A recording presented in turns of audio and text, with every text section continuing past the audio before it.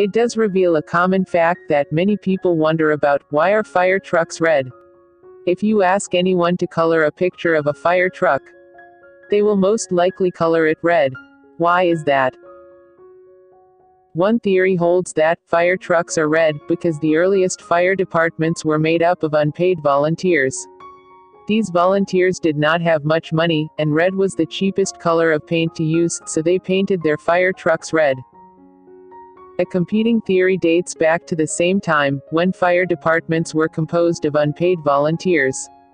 According to this other theory, however, there was fierce competition amongst the volunteer brigades of neighboring towns. Because red was the most expensive color of paint. Volunteers used red to make their fire trucks stand out as a source of pride. Standing out from the crowd is obviously a good quality for a fire truck, or any emergency vehicle to have.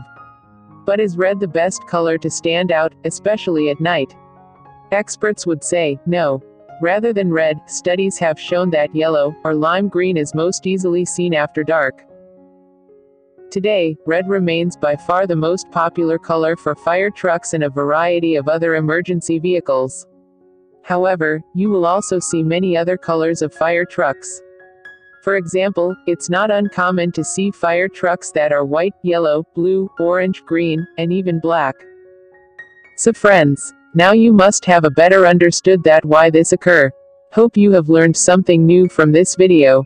If you like the information, you can share this video with your friends, don't forget to subscribe our YouTube channel, and press the bell icon for latest updates, thank you.